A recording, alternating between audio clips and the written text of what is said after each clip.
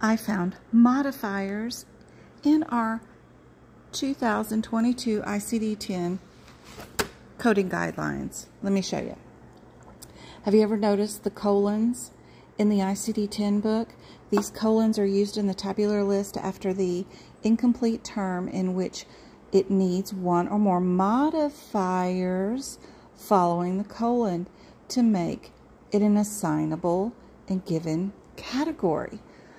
I didn't know we had modifiers. And I didn't know we had colons. And I've looked all over for these colons. They're not like the colons that are in the CPT book after the descriptor that you highlight to note the differences between the CPT codes.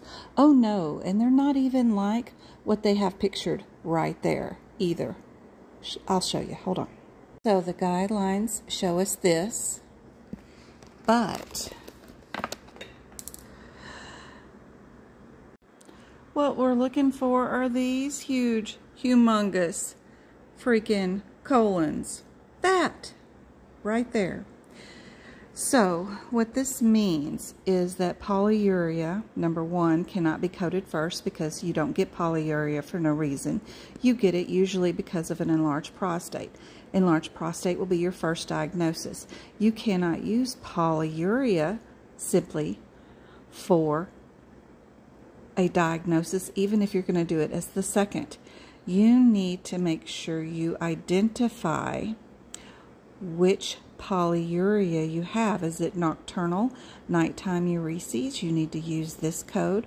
Or is it an other polyuria that is not nonspecific? You can use these two codes as your second diagnosis as polyuria, but you should not be using that one. Those are some big colons right there. Let me tell you, they don't look anything like what's in the guideline, and they should note them as a symbol that looks like the symbol that they're giving you.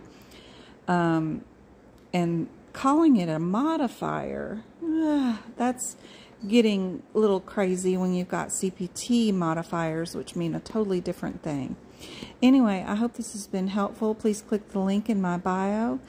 Um, to get a copy of my 2022 notes when I'm done with them.